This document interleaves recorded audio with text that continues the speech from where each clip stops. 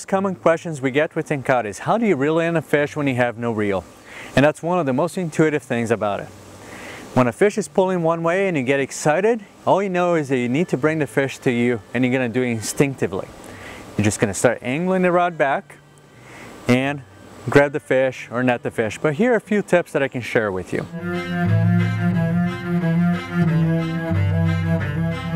When you're fighting a fish, always try to have the rod pointed at least at a 45 degree angle or so, so that the rod can flex and protect the tippet. If you lower the tip of the rod and it's a larger fish, most likely it's going to break off. Keep the rod pointed up and start angling the rod back.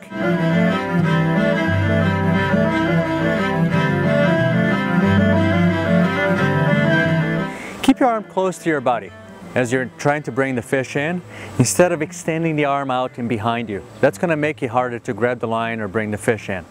So keeping your arm close to your body, angle the rod back. I usually switch my grip to a thumb on top to angle the rod back.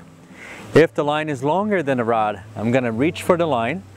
And it helps to either have the rod straight in front of me or pointing slightly to my open arm. Grab the line, hand line it, Bring the fish in as close to me as I can and net the fish.